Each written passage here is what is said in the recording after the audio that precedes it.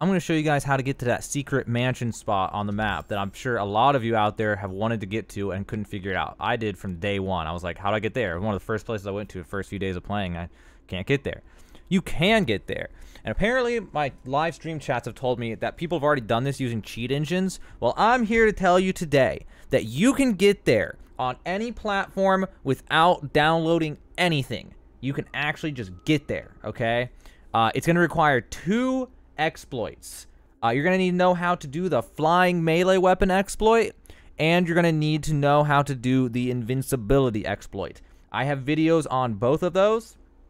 I will link both those videos at the top of the description below. Uh, a third one that you may need, is good to know, is the speed exploit, because if you don't go far enough, you're going to need to use that too to get through here. Now, this is going to take a while, so might possibly, or you might get it first try. Depends on how good you are at button jamming. Uh, or also if you can rebind buttons. If on PS4 you can, I'll go through that in a second. So uh, yeah, you're gonna need to be invincible so that you don't take fall damage from terminal velocity. You're gonna need a flying glitch because you're gonna try to fly over the boundary.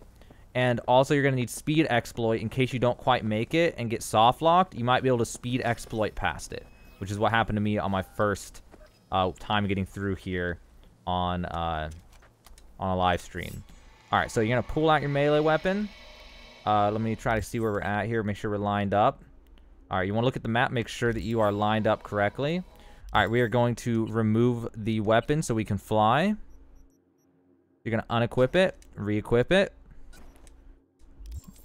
All right, we're ready to fly. Now, before we go, I do want to say if you are on PS4, you have the op option to make it an easier button to press, which you can go to Settings, Accessibility, and then go to button assignments, customize button assignments, and you can change it. For me, I put it to square because hitting a trigger is extremely difficult fast enough for this exploit. Uh, on Xbox, I don't know if you have that kind of feature, uh, but that's something to look into. If you have a turbo controller or some crazy special controller, that also helps. If all you got is a trigger, there's nothing you can do, well, it's going to be a tough exploit. But it's doable. It's just really freaking hard on your arm. Okay, so we're going to try this, and we're going to see how this goes. Oh, and also you want to look up and look down just a little bit so that you'll be moving forward just a little bit. And then you're just going to spam as hard as you can. I'm just going to concentrate.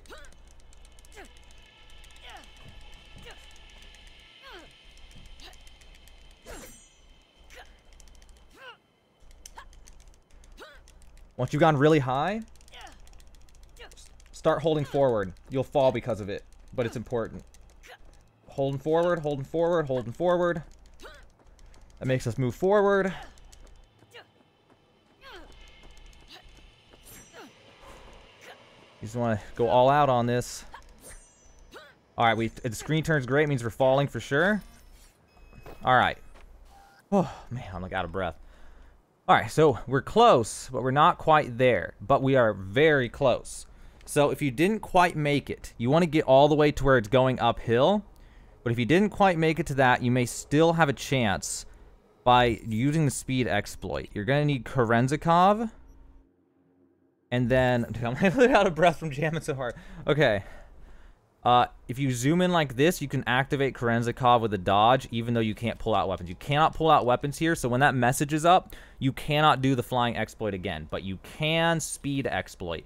And if you're lucky, it'll let you pass the boundary. So, we're going to speed exploit and see what it does to us. Oh, hold on. I messed it up. There we go.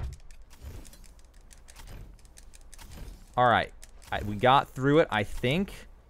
The message isn't going away, but we're through. We've made it through. So now you're going to follow this wall. Once you've gone far enough to the right, you want to go right on this wall. Once you've gone far enough, now you can pull your weapon back out. Okay, so step one complete. Whew. Man, I'm still out of breath from jamming so hard. Okay. Uh, step one's the hard part. Now for the easy part. Now we just got to use the flying glitch to get where we need to get to. So uh, let's go ahead and take this thing, put this thing away. All right. We're going to go up. And once you go up a little ways, now you can start holding forward. I can just let go now. I should be in... Oh, I didn't quite... Nope, I can't let go now. Okay, wait. I slightly misjudged it. Okay, hold on. We'll just go really high then.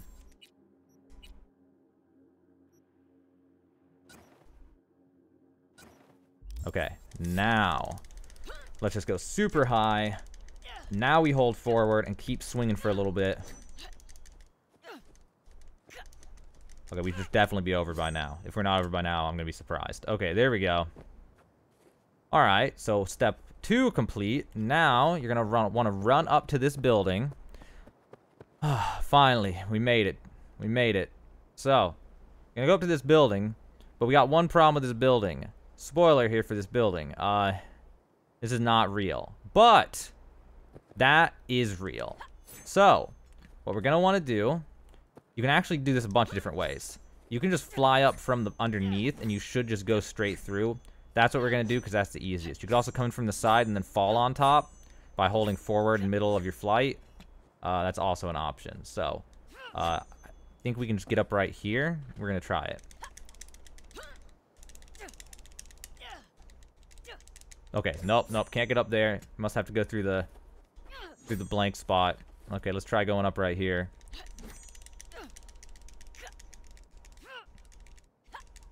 Okay, apparently not. Okay, then must be over here that you go up. I did it before, so I know you can. Maybe it's this one then. I just forget which one.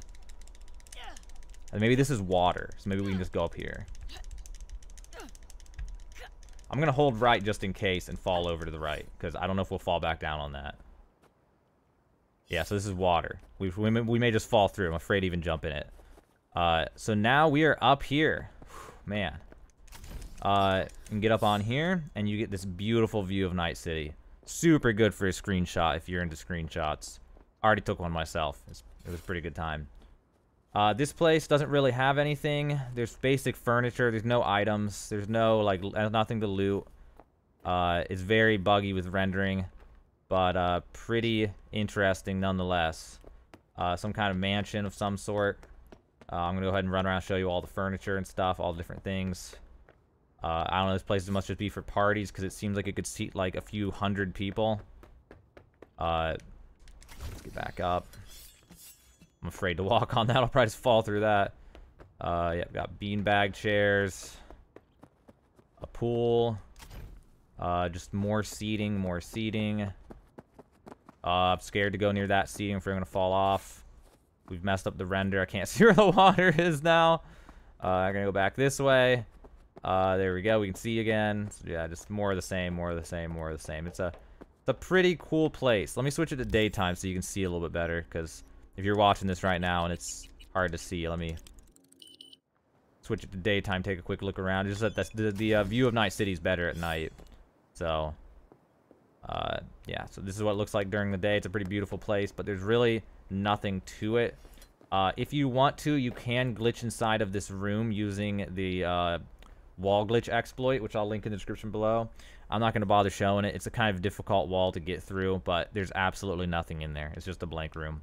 But you can get in there if you want to get in there. I'm just not going to do it because pointless.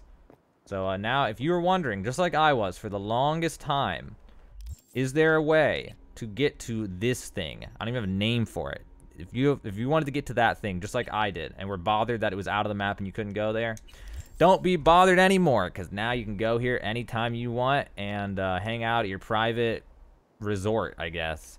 But yeah, so now you know how to get to the secret floating luxury resort resort in Cyberpunk 2077.